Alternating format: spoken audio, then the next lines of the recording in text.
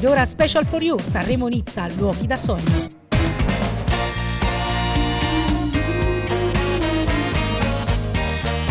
Sanremo è la quarta città ligure per numero di abitanti. Per tradizione vi sono tre diverse modalità di indicare gli abitanti della città. I sanremaschi sono coloro che da generazioni sono nati e vissuti a Sanremo. I sanremesi, coloro che risiedono o sono nati in città ma che hanno origini forestiere. E infine i maturziani, usati più raramente spesso in senso lato, raccoglie infatti nella globalità gli abitanti della città dei fiori.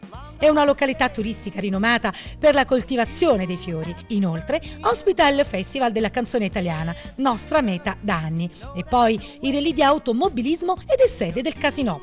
All'inizio del Novecento cominciarono a sorgere le strutture di intrattenimento più qualificate per l'esigente elite della Belle Époque, il casino e il campo di golf. Con l'istituzione inoltre del Festival della canzone italiana, Sanremo acquistò ancora di più un ruolo nell'immaginario collettivo di cittadina frequentata da personaggi famosi e come tale vede il turismo incrementare in modo notevole. Da questo luogo incantevole ci siamo trasferiti in Costa Azzurra e qui, dopo aver visitato Nizza, Eccoci nella riviera più famosa d'Europa, una lussureggiante giardino affacciato sul mare. È la Costa Azzurra dai nobili di ieri e dei divi di oggi, delle spiagge dorate, delle rocce color fuoco, dei casinò e delle eleganti promenade, dei luoghi dell'interno dove il profumo del mare si confonde con quello del timo e della lavanda. Così comincia un numero monografico dei meridiani dedicato alla Costa Azzurra e alle sue bellezze. Ma chi c'è stato sa che qualsiasi descrizione di questo tratto di costa che va da Menton a Saint-Tropez è del tutto insufficiente. È infatti impossibile trasmettere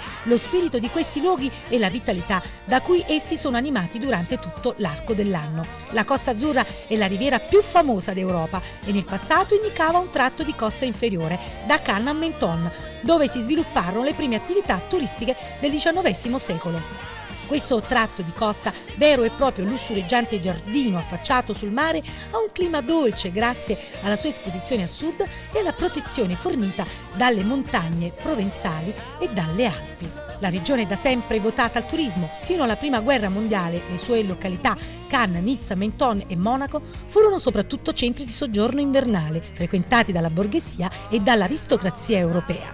Noi ci siamo stati, ora tocca a voi. Buon viaggio!